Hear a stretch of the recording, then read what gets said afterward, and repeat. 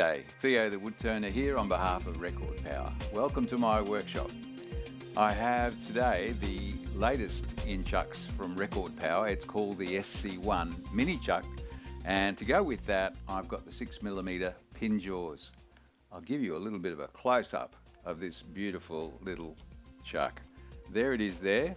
It's got an insert that matches this lathe, M33 3.5 and they're the pin jaws. They'll close to uh, 40 millimeters.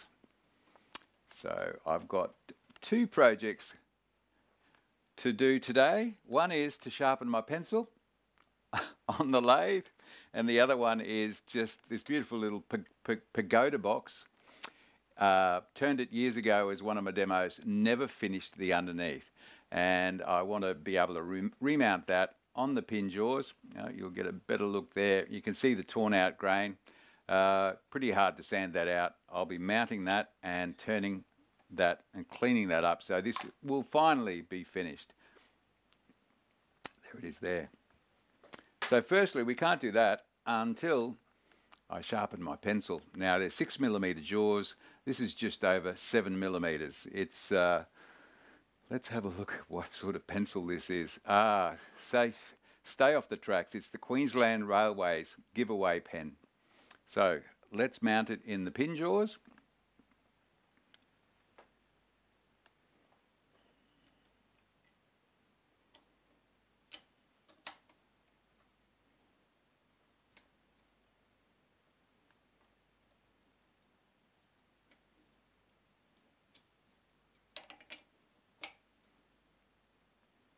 There we go, nice and clear. I'll bring up the tool rest. Want to make sure that I can get to center.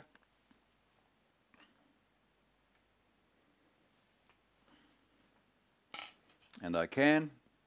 Now I'll just show you the grip that I have when I'm spindle turning. Really important. My finger is under the tool rest. The tool is on the tool rest, but also my thumb is touching the tool rest and the tool is wedged right between my thumb and the tool rest. And my fingers come over and then I have absolute control with my body. I can rotate to cut deeper or shallower. And let's see how we can sharpen this pencil. So the speed on the lathe is going to be about mm, 2,700 face shield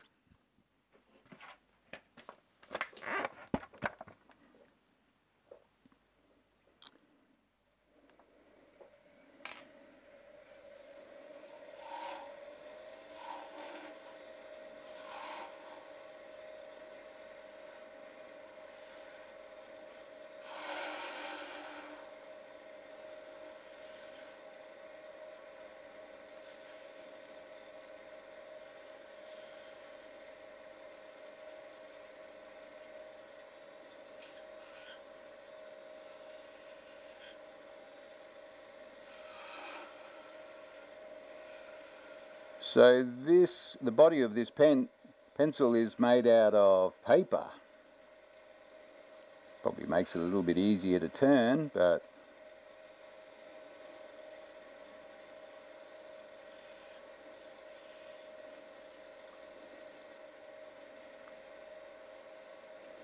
I'll turn a little sphere here. Here we go. Another little teardrop.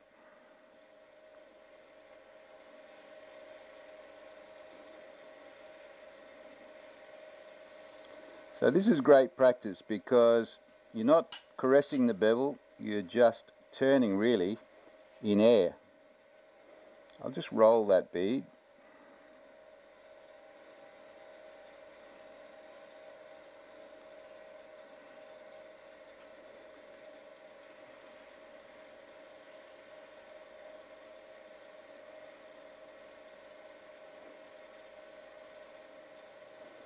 So it's a credit to the accuracy and the engineering of the chuck, the jaws, and of course the lathe. Now this lathe has done a lot of work. I've taken it to um, all the shows that I do, the wood shows, They're now called the um, Timber Tools and Artisan Shows. Uh, they go for three days. I turn from 10 in the morning till 4 in the afternoon with about a half an hour break. And I turn some winged burl bowls and things that are really out of kilter. And I've probably done at the shows I calculated about 160 hours of turning and the jaws, the sorry, the lathe is still accurate as steady as when I first got it about three years ago.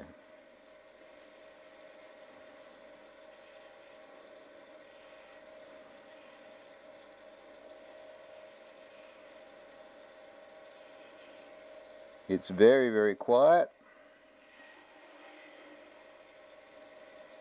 Oh, we're turning some captured rings there. I'd better get that off before uh, it does some damage.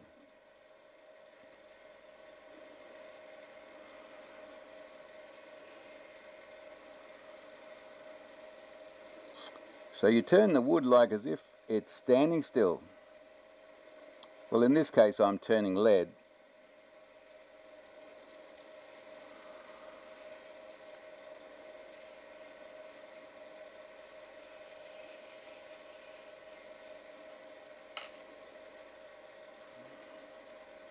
Just want to round that off a little bit. Incidentally, when you're wood turning, you never ever take a last cut. For some reason, if you say the word last, the tool starts to shake in your hand. Does that happen to anyone?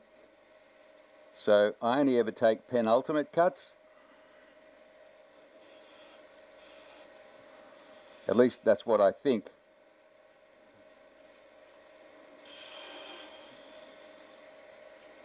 There's another one of those captured rings.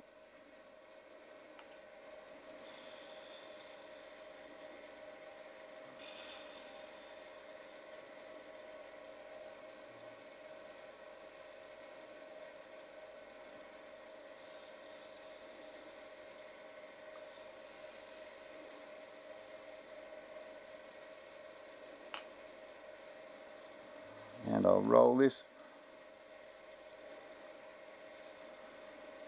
and roll it back.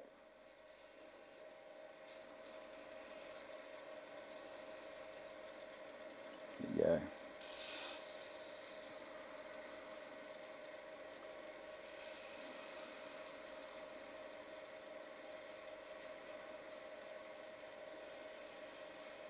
And you know, one of the most enjoyable things about wood turning is that when you're turning something that's spinning at about 2,765 revolutions per minute. You've got a sharp tool in your hand. The rest of the world disappears, as do all your cares and woes. And you can have a bit of fun. Just can't see what I'm doing there.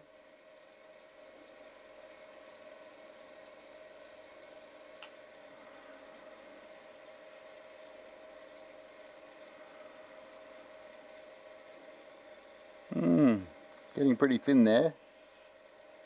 I might just roll a couple of beads here.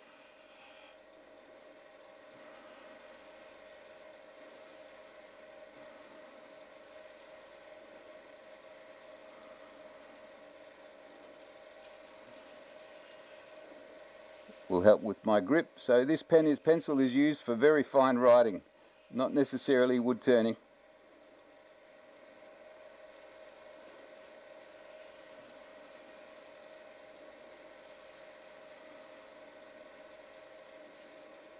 and we might just do one more.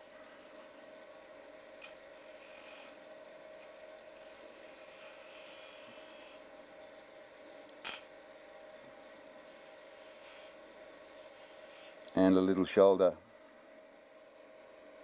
I think that will do us.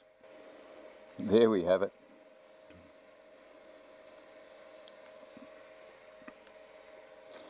Well, there's our pencil sharp, and now we can get to real work. Let's just have a look at that slowing down. It won't look any different. Yeah.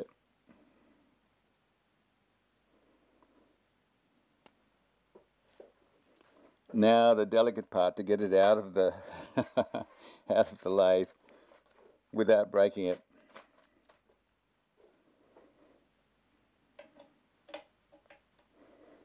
Well, maybe it mightn't be fine writing, maybe uh, short stories, I think. So let's put that down somewhere it can't break. Oh, look, I'll just show you, I turned one earlier as well. Mm. I turned one the other day. There they are.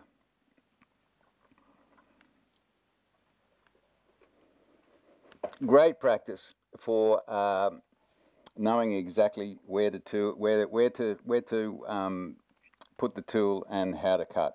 And if you look at a clock, if the tip of my tool, and that's this part here, if that was a clock, that rounded part, and then I cut either at uh, 1.30 or at 10.30 and it's virtually a slice because I'm cutting at 45 degrees the same as a skew. If you go back and have a look at that. So to tidy up the bottom of this little pagoda box, I've decided to show you also the new SC2 mini chuck and I've mounted the 6mm pin jaws on that. So we can just drop that straight over the top and expand it outwards. Not too tight. And I know for sure that, that the inside of this box is not going to be marked because those jaws are rounded. Doesn't need a lot of pressure because I'll be rubbing the bevel, well, caressing the bevel, um, across here. And so the pressure will be against the work. So there's no chance of it coming out.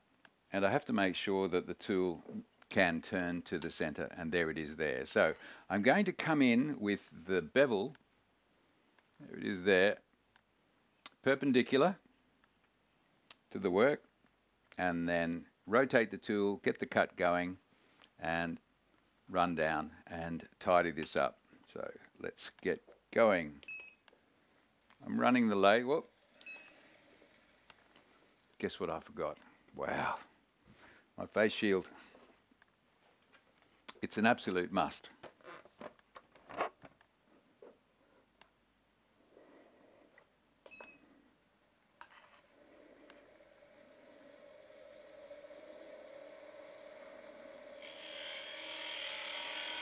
I'll rotate the tool slightly and just undercut this.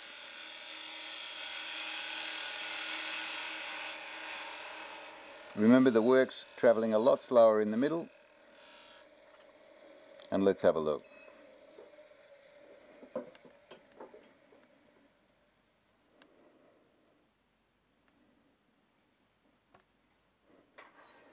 I'm going to start sanding with 180 grit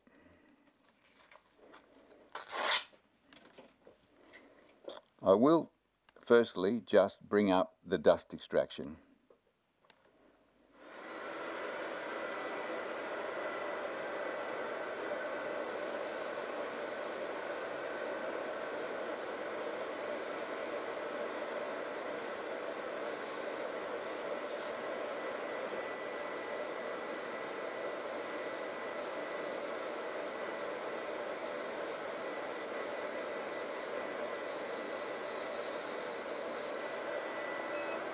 And I'll just stop and sand with the grain.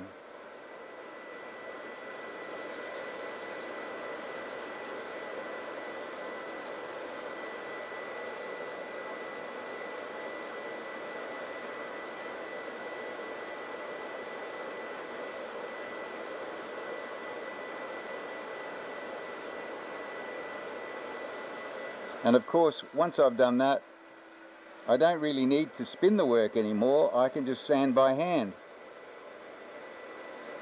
Otherwise, I'm just going to put more lines in, circular lines in, whereas if I just sand with the grain, in other words, with the growth rings, it's actually a lot faster.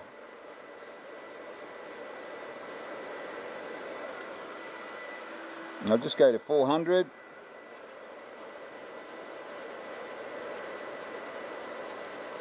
So I sanded with 180, 240, 320 and 400 grit. A little bit of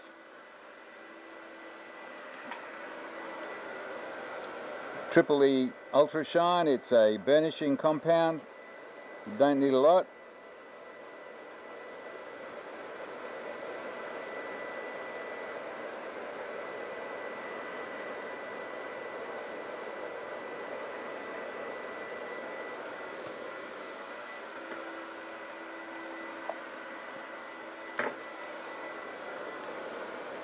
Can turn the dust extractor off.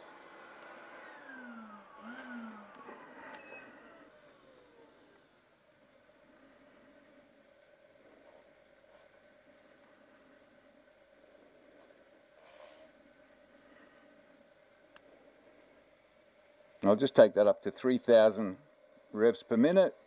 Whoop. Not too fast because if you've got a very, very thin vessel, the centrifugal force actually can throw the jaws out. In other words, force them out a little. And you can split the vessel. So just take it fairly steady. And I'll apply now this um, Aussie oil. It's part oil, part thinners. You can see it there. And you shake it up take a little bit of cloth, sorry, a little bit of paper.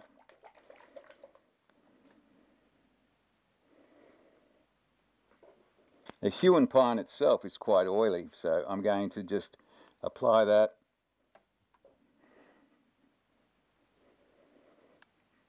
And I'm going to tell you something extraordinary about this timber.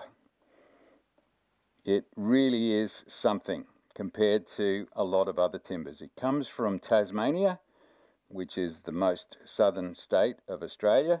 It's an island. And it grows very, very slowly, and I'll show you exactly what I mean.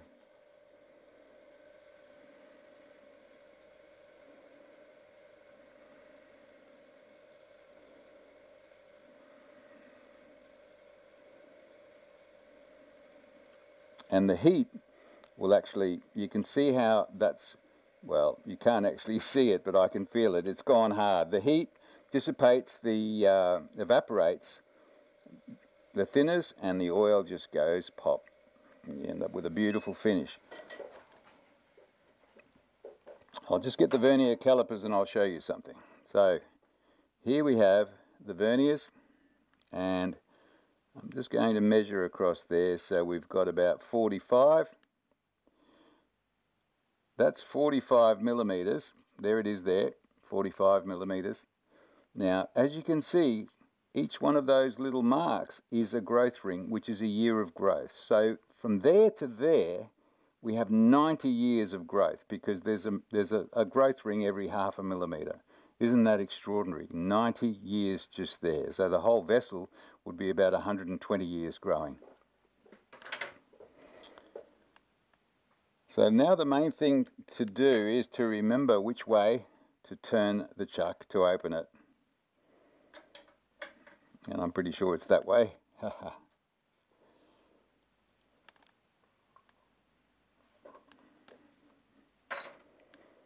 So there it is again. I'll just show you with the overhead shot.